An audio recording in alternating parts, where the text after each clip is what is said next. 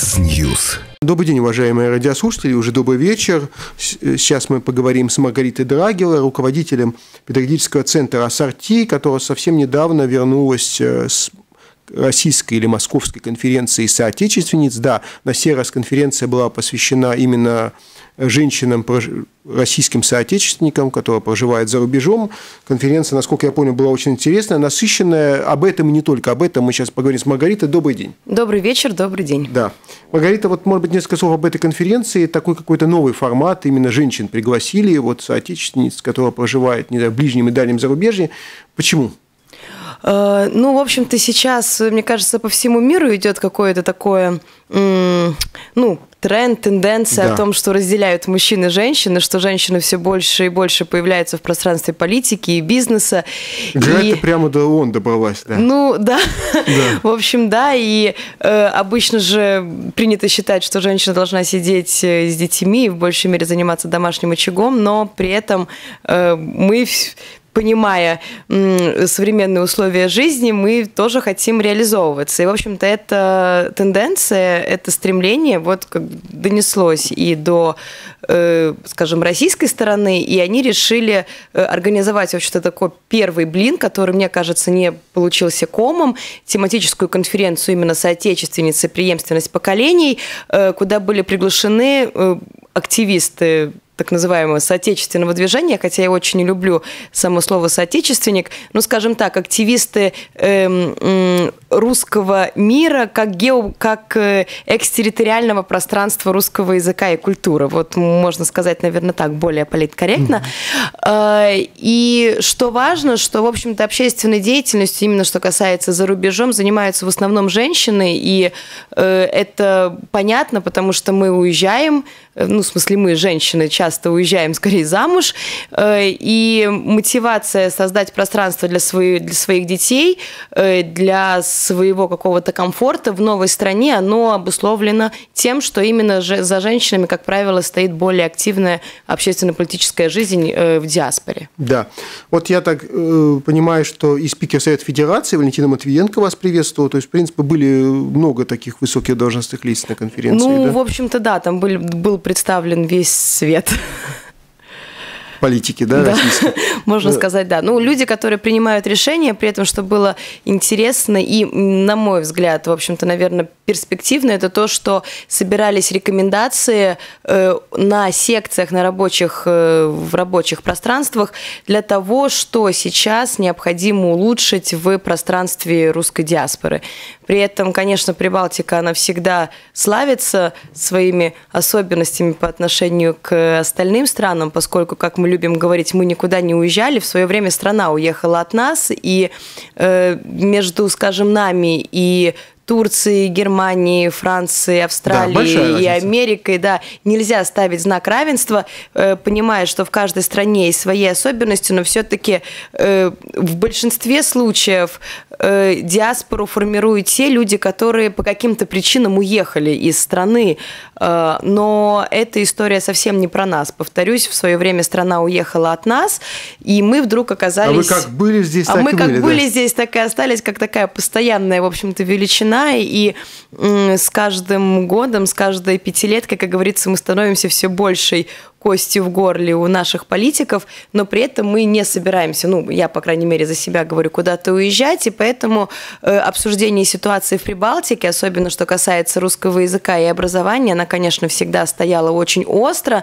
и более того, э, что интересно, что вот более 15 лет я занимаюсь общественной жизнью, и, наверное, из которых лет, наверное, 10 я езжу по международным конференциям, которые специализируются и на особенностях Прибалтики, mm-hmm. и вообще международной деятельности.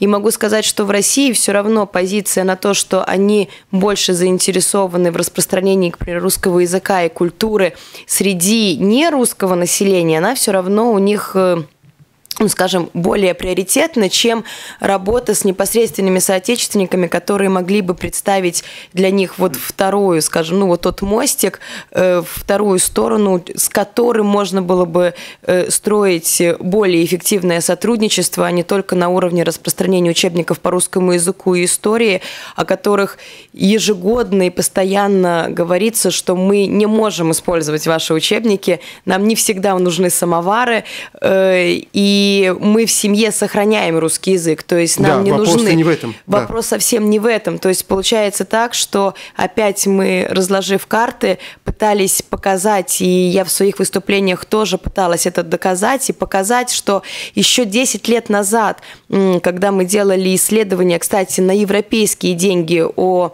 Э, ситуацию с русскими молодежными организациями русской молодежи, э, мы тогда говорили о том, что если оставить ситуацию и пустить ее на самотек, то есть оставить так, как она была 10 лет назад, то мы у нашей молодежи потеряем идентичность, язык и образование, потому что, в общем-то, Об этом все... вы еще предупреждаете да, 10 лет тому назад. Да, да, вот да. прошло да, 10 лет. Прошло 10 лет, и теперь получите, распишитесь.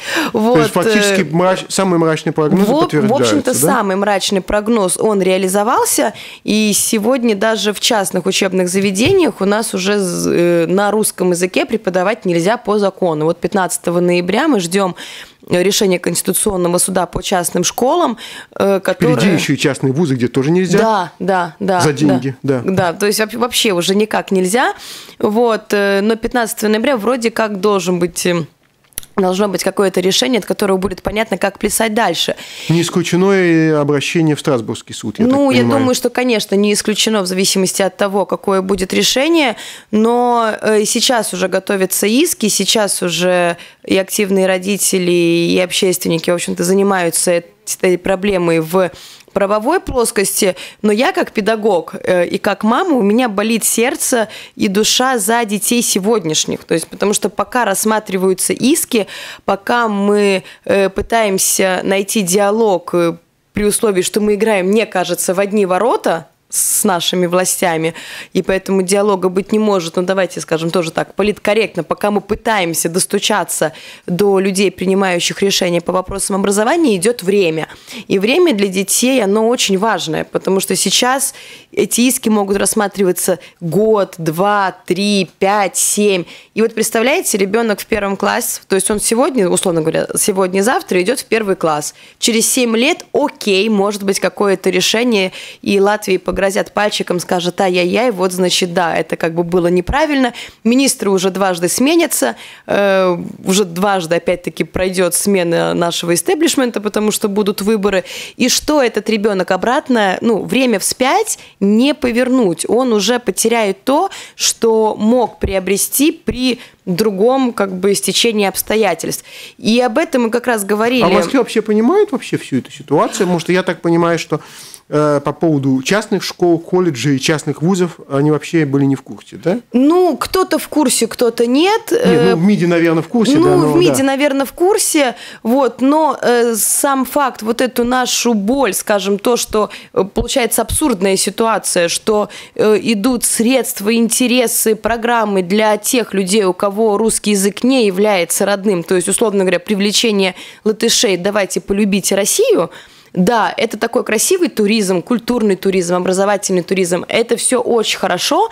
Это, в общем-то, распространение позитивного образа и и так далее. Но получается, что наши дети, у кого русский язык родной, у кого сейчас стоит вопрос о сохранении идентичности и о том, сформируется у него русская культурная картина мира или не сформируется, э, вот наши дети остаются вообще, в общем-то, без какой-либо поддержки, только поддержка ложится только на активных родителей и педагогов-инициаторов, которые, по большому счету, э, за свои собственные средства, поскольку не, ну, как бы нету ресурсов других, других организуют кружки, занятия, дополнительные занятия для того, чтобы каким-то образом сохранить э, русский язык, для того, чтобы каким-то образом хотя бы переобъяснить тему ребенку тогда, когда и учебники у нас сейчас тоже на латышском языке.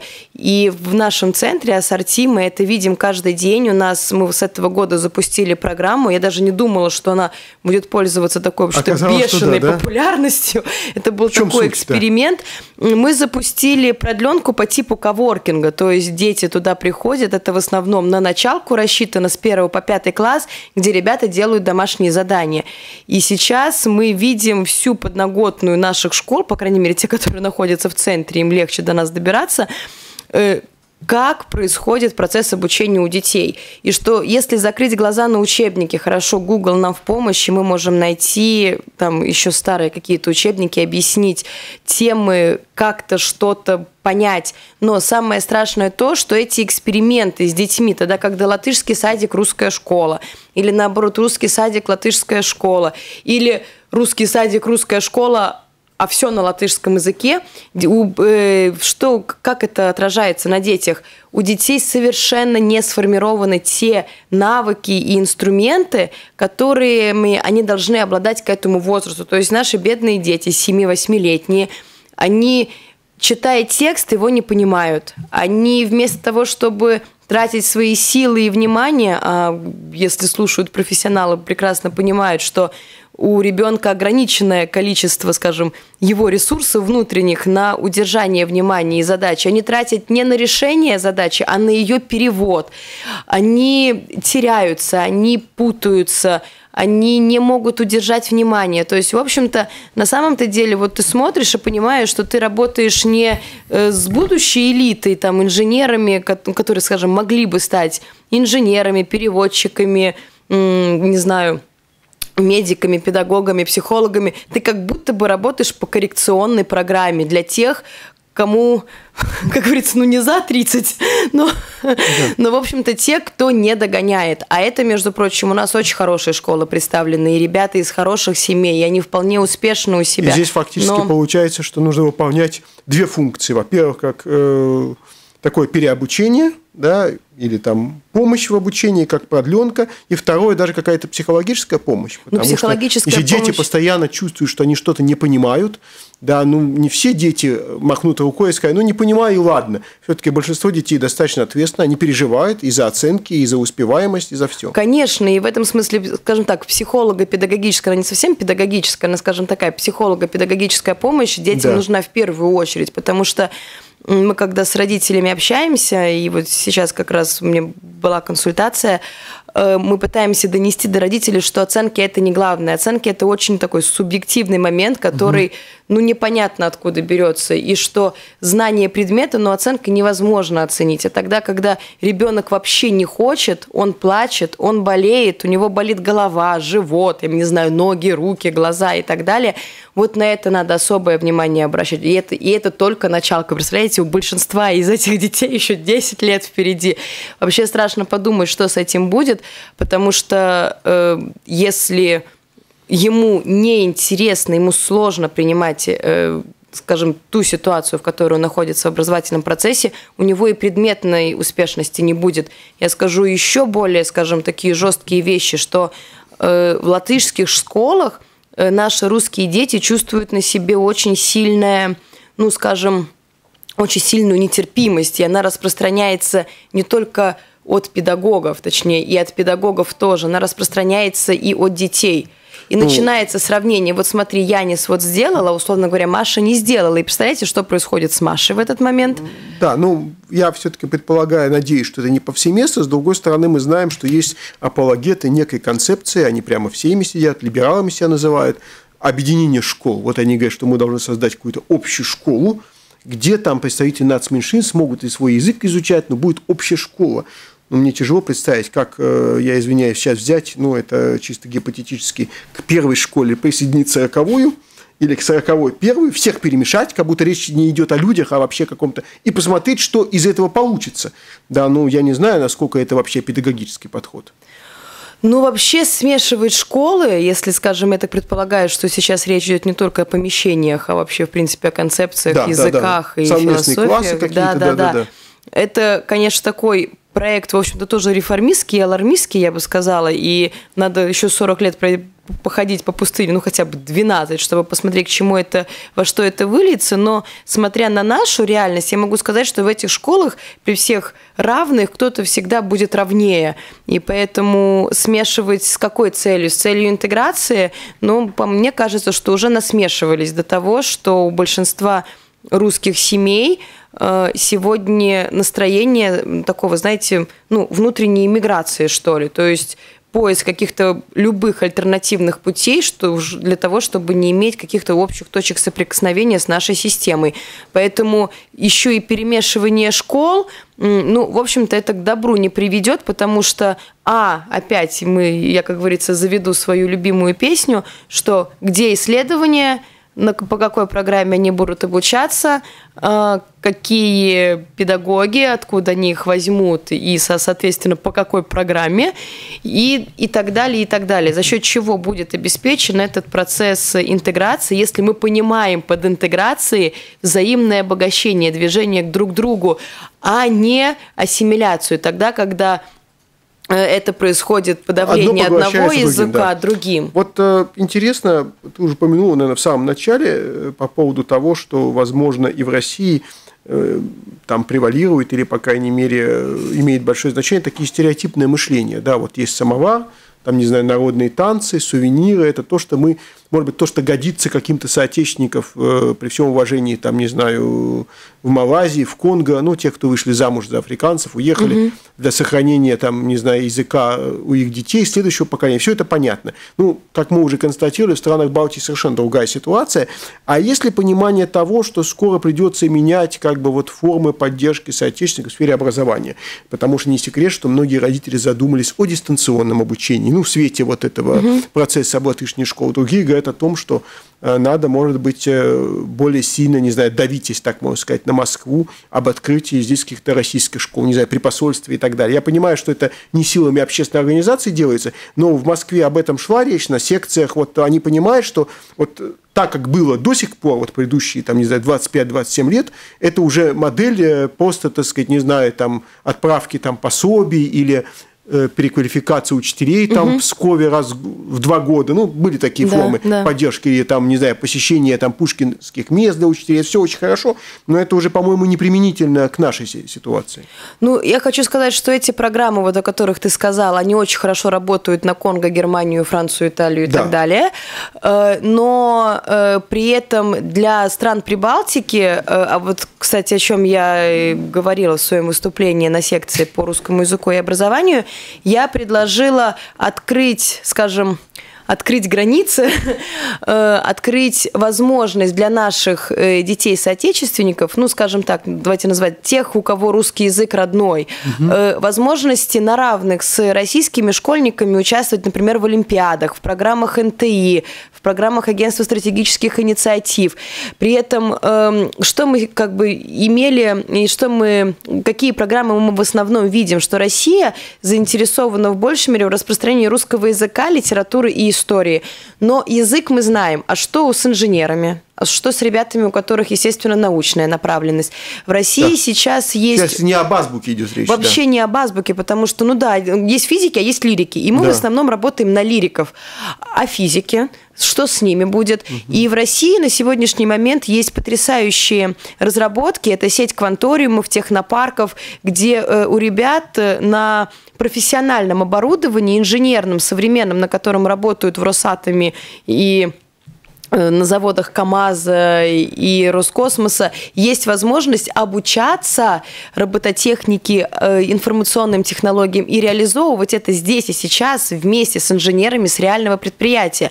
Таким образом, э, развивая свою, ну, свое инженерное мышление и работая абсолютно в конкурентоспособной среде сегодня, таким образом логично, что они завтра тоже будут более конкурентоспособны. Поэтому я также предлагала то, что чтобы открыть вот эти программы для наших соотечественников, то есть перевести их в дистант, потому что я знаю, что есть сейчас по некоторым регионам э, в России ездят так называемые мобильные кванториумы. Это э, бусик вместе с большим, ну, скажем, таким вот прицепом, что ли, внутри которого обеспечено оборудование, там происходит, происходит обучение. То есть здесь момент такой, что это не развлечение, как АХХА-центр, то, что мы да. знаем в Тарту есть, а это обучение именно вот инженерному творчеству. Маргарита Драги у нас в студии. Прервемся буквально пару минут на рекламу, потом вернемся. Я вижу, что много звонков, будем их принимать. Mix News. Да, Маргарита Драгера у нас в прямом эфире. Много есть тем э, для обсуждения. Ну, может быть, начнем действительно, как мы обещали, со звонков радиослушателей. Потом продолжим по другим темам. Э, добрый вечер. Слушаем вас, пожалуйста. Добрый вечер. Но ведь на грабли объединенных школ уже один раз наступали. Я помню, в советское время, в 70-х годах были объединенные школы. Правда, дети там учились отдельно русские классы, отдельно латышские. Но в русских классах были учителя многие, которые русский плохо знали. Отношение к русским детям было второго сорта. С латышскими они сталкивались в коридорах, в столовой. Ничего хорошего, никакого примирения не было. Там были драки. В общем, уже один раз эти грабли были. Неужели это никто не помнит? Угу. Спасибо большое за эту реплику. Нет, ну на самом деле не об этом-то идет речь. Может быть, не будет никаких драк. Речь идет вообще о сохранении идентичности или самобытности, это более такое слово русское, и э, о том, чтобы получали дети качественное образование. Вот об этом идет речь. Да? Вот мне так кажется. А такое ощущение, что многие политики уже так заиграли, что они просто думают, а давайте какой-то эксперимент сделаем над детьми. Как они там будут? Ну, как бы подопытные кролики, что ли? Я никак не могу понять. Ну, во-первых, как подопытные кролики, а во-вторых, все-таки нельзя спускать со счетов и вопрос интеграции. Все-таки мы живем в, в едином обществе, да.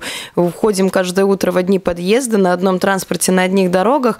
Э, и тогда, когда сегодня, ну, давайте называть вещи своими именами, на самом-то деле очень высокий градус именно по языковой национальной нетерпимости, и я это вижу даже на детских площадках и, и в магазинах, он все равно есть, то перемешивай, не перемешивай школы, как говорится, рыба гниет с головы. Поэтому вначале нужно каким-то образом изменить вообще э, тот э, какой-то такой паровоз, который, мне кажется, несется уже без тормозов в сторону национального, вот абсолютно национально ориентированного государства. И только после этого, тогда, когда наверху устаканятся все эти вещи, и латыши, наконец, не знаю, примут, не примут то, что здесь есть и другие, при этом э, сегодня абсолютно не как бы абсолютно не агрессивные. Я не понимаю, откуда тоже эти мифы про, про захват Кремля и, и так далее. Только тогда, мне кажется, и, и в школах вопрос языка уйдет на второй план, и общество наше будет более сплоченным, потому что до сих пор есть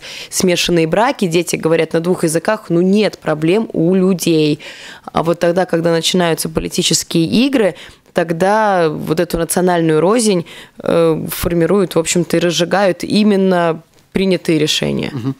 Да, вот э, о разжигании э, мы знаем, что Сейм продолжает вот эту эпопею э, обсуждать вот всю эту историю вокруг памятника освободителям. Э, сначала одна комиссия долго муссировала вопрос, как снести этот памятник, э, потом другая комиссия. Сейчас создали специальную рабочую группу, которая будет решать, как переименовать памятник, а, а если повезет, то, может быть, его каким-то образом, там, не знаю, снести, обнести, э, какой-то еще музей создать прямо там у подножия или там в каком-то подземном погребе, оказывается, есть такой. Да, э, потом поставить какую-то табличку, где рассказать, что на самом деле никакого там освобождения не было, была оккупация. Ну, в общем, по-разному, угу. да, э, что только не придумывают. Ну, я так понимаю, что это отразилось и на отдельных не очень уравновешенных э, людях, которые, я так понимаю, на, на днях просто там написали оккупанты на памятнике. Ну, да, да, вроде как пару недель назад. И, э. я так понимаю, что даже активисты пытались э, очистить этот памятник, да? Да, э, был брошен клич от ребят 9 мая ЛВ. Они, видимо, как-то проезжая мимо, в общем-то, это увидели. И очень оперативно, буквально в течение пары часов, э, эта позорная надпись была э, стерта, была вымыта, но сам инцидент э, с, с надписью, со всеми этими э, обсуждениями вокруг памятника, он, конечно, э, ну, сказать мягко, очень неприятен и дурно попахивает, потому что, в общем-то, была уже на нашей истории, в нашей истории период, когда сносились памятники. Э, это, я так помню, Ленина, да, там, или кого они там, в общем-то, ну, были случаи в истории, и все мы прекрасно знаем, да, что да. это кончалось далеко не миром, да, то есть, что это такое начало большого конца, и я не думаю, что они что-то сделают с памятником, что, в общем-то, как говорится, у них силенки на это хватит, но само будирование этого вопроса при условии, что в следующем году 75-летие Великой Победы, и с 1 января входит э, в силу закон о запрете даже стилизованной символики э, воинов Второй мировой войны, э, то, если честно, ну, нервы они, конечно, нам попортят, но в конце концов за памятник тоже выйдем. В «Бессмертном полке» в прошлом году вышло 20 тысяч человек, ну вот я думаю, что не меньше выйдет и за памятник. А дальше... То все-таки выйдет, да, потому что, и... видимо, те, кто вот, э, вот эту провокацию вынашивают или хотят устроить с демонтажом, они, видимо, уверены, что не выйдут никто на защиту памятника. Да? Ну, я думаю, что народ у нас сейчас раскочегарился уже. Еще пару раз напишут. Еще пару раз напишут, еще пару раз что-нибудь примут, и я думаю, что все-таки выйдет. Ну, вот медики сегодня, видите, тоже вышли, опять-таки. Э, поэтому есть незыблемые ценности, есть красные линии, есть то, ну, как бы, куда заступать уже нельзя. Ну, все, товарищи, баста. Ну, как бы, вот поиграли и, и хватит. И я уверена, что памятник это будет тоже определенная объединяющая история, если, конечно, э, инициативу не возьмут на себя э, отдельные политические силы и не развернут э, флаги партии, тогда борьба за памятник сможет стать, опять-таки, объединяющей и единой среди русского населения, ну не только русского, для тех, для кого русский язык является родным, для тех, кто э, против любых э, проявлений национализма, русофобии, разделения общества и так далее, для тех, чьи деды-прадеды воевали, для тех кто, наследников, кто, ну, чьи предки, соответственно, освобождали Ригу и так далее. Этот список можно перечислять э, долго. Я думаю, что в нашей стране все-таки достаточно здравомыслящих людей, которые понимают, что Э, разжигание, ну, скажем, разжигание вот розни, то, того напряжения, которое сегодня, ну, в общем-то, накапливается, бурлит и кипит в нашем обществе, ну, как бы когда-то должно вообще закончиться. Да, но мы знаем, что здесь э, активисты ТБВИС в Латвии, даже правоохранительные органы обратились по поводу того, что вот 13 октября несколько общественных организаций и политиков отметили вот э, юбилей освобождения Риги от немецко-фашистских захватчиков. Ну, Видимо, они не считают, что освобождение было. Интересно, что же тогда было. Э, да, э, и какой бы исхода Второй мировой они хотели, но это, наверное, вопрос такой исторический, э, риторический, они сами не знают, чего они хотят, но это, по-моему, очень говорит о многом, о том, до чего довело вот такое передергивание исторических Я бы сказала фактов. бы, не довело, а докатилось, да, то есть, как говорится, до, до чего вы уже докатились, но, в общем-то, да, я с этим согласна, тоже такое уже передергивание, что дальше некуда, но при этом, когда э, нас обзывают э, в шаме, и мы подаем э, в полицию безопасности или куда-то еще жалобу о том, что это разжигание национальной розни, мы получаем ответ, что нет. Экспертами в этих, скажем, э, событиях разжигания национальной розни не обнаружено. Вот, а это, а вот с их стороны, в общем-то, это борьба за чистоту мыслей, за да. За свободную Латвию. Вот возвращаясь все-таки к такому вопросу очень важному образовании и обучению, я знаю, что в Москве вы успели по завершению конференции поучаствовать в таких профессиональных педагогических э, чтениях. Это значит, что, та, что вот в Москве развивается вот эта, если так можно сказать, педагогическая мысль, и что-то можно там использовать этот опыт и в Латвии. Да? Что вот это за мероприятие было – я так понимаю, что такое весьма специфическое для профессиональных педагогов, но все-таки. Э, да, удалось в Москве, как говорится, объединить три мероприятия в одну поездку. Я участвовала в ежегодной тьюторской международной конференции, которая посвящена новым разработкам в образовании. При этом э, русская, скажем, философская школа и педагогическая школа, она славится хорошими разработками, которые на самом-то деле ориентированы на раскрытие личности ребенка и реали- его, реализацию его потенциала. И известные школы по всему миру, сегодняшние известные школы, в общем-то, они работают именно по русским разработкам. Более того, у нас ходит даже такая шутка в профессиональном сообществе, что э, вот известный сегодня International бакалавриат, то есть международный бакалавриат, в общем-то, это разработ... русские разработки развивающего обучения, переведенные на английский язык и хорошо проданы.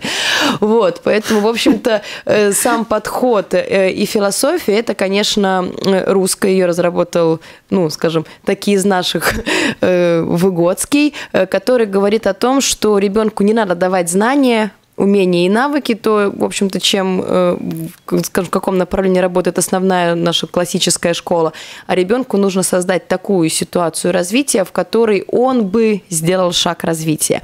Это такая, скажем, профессиональная история, но Конечно, разработки российские мы сюда можем привозить, и они реализуются и в нашем центре. Я знаю, что есть специалисты, которые тоже это, это делают. Но конечно, уровень размышления об образовании, который идет в определенных сообществах в Москве, он не сопоставим с тем уровнем, который происходит у нас. То есть, если в нашей стране э, у нас основная задача образования – это обучение латышскому языку, что, в общем-то, само по себе является, ну, скажем, профессиональным бредом, потому что мы не можем э, заставлять ребенка во время образовательного процесса изучать один предмет. То же самое, что и всех сделать физиками, всех угу. сделать химиками. То же самое вот мы говорим, всех сделать носителями латышского языка. Вот. Э, но при этом э, приезжая сюда, мы, конечно, сталкиваемся с определенными проблемами.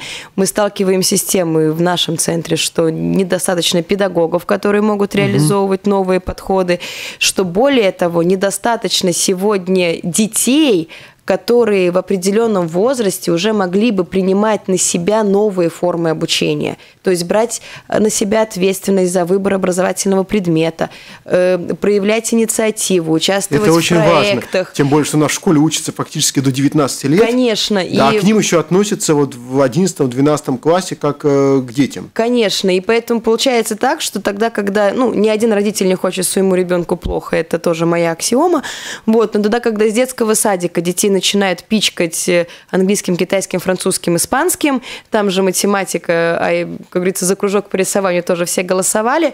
Э, мы пытаемся запихнуть в ребенка знания, при этом забывая про его личные особенности, личные способности, индивидуальные. Да и ребенку должно быть детство, но не может он все время только учиться, учиться, Ну да, учиться, но при этом учиться тоже можно играя, а, да. а мы, у нас настолько закостенелая педагогическая школа, что мы вроде и говорим о переходе на компетентностный подход, что мы вроде и говорим правильные слова о проектной деятельности, ну, о самостоятельности и так далее, и так далее, но это вот между тем, что говорим, и между тем, как делаем, говорится, как говорят у нас в Одессе, две большие разницы. Вот этот мостик, он не появляется. Поэтому э, московские, московское педагогическое сообщество, оно конечно, дает определенный такой профессиональный стимул, приезжая сюда экспериментировать, пробовать. Но более того, я могу сказать, что не все родители готовы заходить в новое качественное э, образовательное пространство. Ну, сейчас она нам обещает на государственном уровне на какой-то ну, новый компетентностный подход. Это все вроде красиво звучит, я не понимаю, звучит, как это будет на практике. Но у нас, к сожалению, очень большая проблема с педагогами, очень большая проблема э, в том, что никто не знает, как это реализовывать. И получается, что сейчас попадают э, под каток эксперимента, а в эксперименте, вы знаете, да, может быть, положительные результаты и отрицательные, в общем-то, наши дети. И вот это, конечно, плачевная история. Поэтому большинство родителей не говорят, да, конечно, все супер, но давайте-ка вот мы латышский выучим. И вот еще математику возьмем дополнительную, чтобы хорошо написал контрольную. А вот говоря об этом центре ассорти, куда, я так понимаю, все больше и больше детишек приходит, а как можно вообще вот э, успеть? Ведь мы понимаем, что дети очень загружены. Ну, если мы говорим про вот эти рабочие дни, 5, 6, 7, 8, некоторые школы умудряются детям и 9 уроков поставить, есть такие дни а надо же еще какие-то домашние задания выполнить, еще вот переобучить, если, э, боже, как, как удается вот это вот время, не знаю, распределить? ну, растянуть. Растянуть, да. Приписать в сутки еще пару часов. Э, ну, это очень сложно. У детей, правда, сегодня очень большая нагрузка. И что э, самое ужасное получается, что они в школе просиживают общем практически рабочий день, а потом за оставшееся время им нужно еще раз а, освоить ту же самую программу и еще дополнительно где-то э, подучиться и, а, скажем так, накачать какие-то те навыки, которые школа, к сожалению, не дает. Это очень большой вопрос, это очень большая проблема. Поэтому сложно. Если вопрос, то как, то это сложно, но при этом все-таки мы стараемся и убеждать родителей, и работать с детьми, чтобы они понимали, э, как расставлять приоритеты в образовании, чтобы они понимали, что невозможно быть отличниками по всем предметам, что намного более важно понимать, зачем тебе этот предмет и что ты сейчас на нем делаешь. И что, к сожалению, не всегда педагоги правы, и, и есть какие-то более, скажем так, объективные способы оценивания э, своего движения в образовании, нежели отметка, от которой сегодня ну, как бы зависит практически все семейное счастье. Да.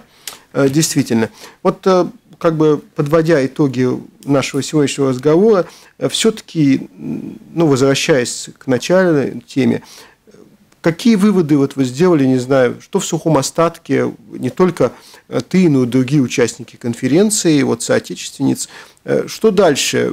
Есть ли все-таки понимание у тех, по крайней мере, кто профессионально занимается, не знаю, поддержкой соотечественников или политики диаспоры русского мира, вот какая-то дорожная карта, что дальше, чтобы все-таки не было так все, чтобы всех в одну гребенку, да, не знаю, африканский континент, Латинская Америка, где тоже есть российские соотечественники, кстати, их немало, в Аргентине, к примеру, mm-hmm. да, э, с одной стороны, и вот на пространстве бывшего Союза, где проблемы совершенно иные у соотечественников, э, с другой стороны. Есть какая-то дорожная карта, или, может быть, они будут э, к вам обращаться за помощью, к самим соотечественникам? Ну, дорожной карты пока нет, потому что, в общем-то, это был такой э, сбор мнений, сбор впечатлений, рекомендаций. Э, дальше, поскольку все-таки мы имеем дело с государством довольно-таки консервативной, довольно... Э, медленно переваривающая да. структура какие-то предложения, поэтому я, наверное, скажу банально, ну, что будет дальше, вновь покажет время. Вот. Да. Но при этом предложения высказаны. Э, будем надеяться, что они были услышаны, потому что сейчас уже появляются и открытые школы, которые готовы принимать э, наших детей на семейную форму обучения, появляются курсы и разработанные оцифрованные программы из московских вузов и московских школ, которыми можно пользоваться. Появляются возможности постепенно тоже перевода в дистантное обучение каких-то новых программ. Поэтому, ну, мне кажется, что это очень пока что не системно, э, пока что это так разово на уровне, видимо, какого-то такого разового импульса, но я не буду пессимистом, но я думаю, что на Бога надеюсь, я сам не плашай, поэтому угу. в любом случае образование детей, э, русских детей сегодня в Латвии целиком и полностью легло на плечи семьи. И дальше, дорогие родители, э, как говорится, терпение вам и здравого смысла при выборе дополнительных занятий, приоритета во времени учащихся Совершенно точно и принятии да. угу каких-то многие... решений да, в вопросах да. образования. Ну да, потому что по-прежнему есть такой стереотип, что ну как-то учителя должны ведь думать, учителя должны думать, не знаю, директора должны, школы должны думать, там не знаю, Никто депутаты, не должен. Да, да, депутаты должны думать. Ну хорошо, должны, ну напишите себе это, повесьте записку, что должны, но в первую очередь это ваши дети, и вы должны, если так можно ну, сказать, да. То есть, к сожалению, сегодня, ну мы не являемся приоритетной целевой аудиторией ни у одного из ведущих, скажем, каких-то сообществ сообществ акторов на мировой арене. Вот это надо принять угу. и, и дальше. И надежде, уже... что там, не знаю, где-то там услышат в Вашингтоне, в Брюсселе, еще где-то. Ну, слышат, и что, Заяц, ты меня слышишь? Слышь, да. слышу, как бы да. в нашем мультике. Сказал ну, погоди. Волк, да, да. да. Маргарита Драгева была в студии, большое спасибо. Всего доброго.